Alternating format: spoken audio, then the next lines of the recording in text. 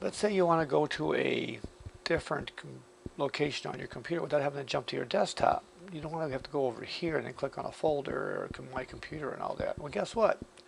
The same shortcuts you used to do in Windows 7 you can do here. Uh, if I, let's say for example, I want to go to my YouTube videos, which are located on my G drive over here. Okay, so that one right there.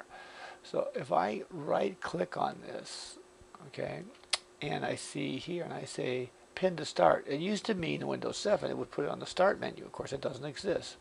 So we're going to say pin to start here. Okay. The uh, public videos is actually on my other computer. Okay, so I'm going to right click on that one even and say pin to start. Now if I go back over here and I scroll over to the side, you'll see that now I have those links to those locations right here. Okay, so I can sit there and go, oh, bam, and it comes over here and opens that video or that location over there. So not only can you do apps, but you can do file locations as well on your start menu. So you can have a whole series over here, whatever you want. So let's go ahead and minimize this. I'm going to right click on this area and I'm going to call it uh, folders. if I can type folders.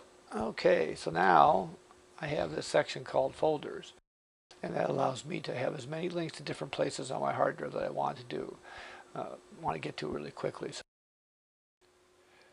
now you don't have to have its own group. If let's say this folder was associated with a pro set of programs that you wanted to use, for example, if this was Office, for example, and this was, I could make a directory link to those files for Office, my Excel or Word files or my documents for a certain year, whatever I want to have, there's a shortcut, I can have it right there. So if I'm here on my start menu, I can do that. So those of you who like shortcuts, rather than cluttering up your desktop over here with a bunch of shortcuts and everything else, you can clutter up your start menu. But the whole point being is that uh, you can configure this any way you want to make the things work best for you.